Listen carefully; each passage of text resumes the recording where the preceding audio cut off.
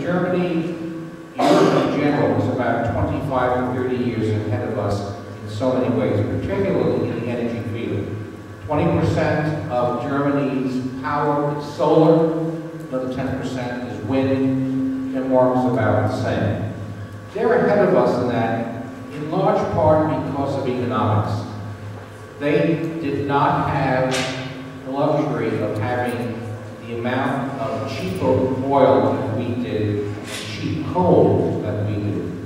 Uh, Germany, for the most part, has run out of coal out of the Ruhr Valley. They, they used it up. We still have about 400 years of coal left in this country at present consumption rate. And so the economics of the marketplace uh, do not encourage uh, either conservation or finding alternative ways of doing business of generating if there's no economic incentive. And that's the reason why Germany is ahead of us in those areas. I can tell you that uh, I agree with you on the whole solar issue. And I've just so I just showed Don Chan, a fellow working with me, my electric bill for February from Con Edison. I'm a Con Ed customer, I live in Ridgewood, Queens. My bill was $16.40. So you say, well, how can that be? Well, I put solar panels on my roof, and they do work. And I would encourage all of you, uh, on a sidebar discussion with myself, to take advantage of the program that NYSERDA has to install them, because you're paying for this the system's benefit charge. And those of you, I mean, all of you pay that as part of your Con bill. And you help me finance that on my and thank you. You do the same for yourselves, and you would significantly reduce your electric bill. The cost of energy in this country is going to continue to go up. There's, there's no way, there's no way to stop that. And that's in part because the two major new industrialized countries of the world, India, and China, have an insatiable appetite for fuel. China is building one new power plant a week. A week. China uses more cement for its infrastructure in one year than all of the other countries on the face of the earth combined. That's massive. So we're now competing with China and India for oil, and even with, we're actually exporting coal from West Virginia to China. Because they're willing to pay more for it than utility companies in this country. So with that kind of competition, there, it is going to drive people to want to look at alternative sources like solar. And it is competitive if you use the rebates that are in place by the federal, state, and city governments.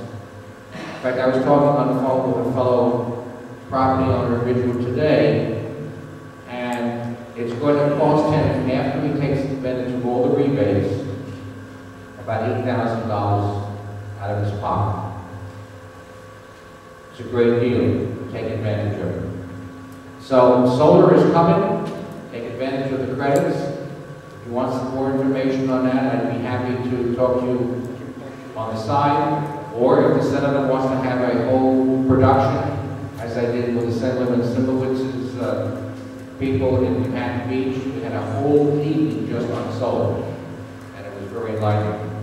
And the final question that you raised is a very good one about running a line from upstate why not having the same rates of electricity downstate as upstate. Well, we had something like that before 1990. And then we were told in New York to deregulate. The utility companies in this state were told that we had to go into the open market. We had to sell our generators and uh, we then had to buy on the open market. And that's what happened. We went to over the state, I guess was the state, I don't know, the governor, whatever it was. If we were forced to be regulators, it was the federal government. Yeah, there was a deregulation, and so we, we have to be competitive. So, in fact, in Con Edison, every hour, the rates change. And our, we have a whole group of, of people there that do nothing but estimate what the costs are going to be, and, and they, long-term, they buy futures contracts to figure out where's the cheapest place to buy our generating electricity, and we have to buy, we're, we're competing with, with other companies that want that same electricity. So unfortunately, what you want is what we had, believe me, I think we would have been happier to keep that, we were told we can't do it. The whole idea of deregulation was supposed to make competitive. I question whether that really happened.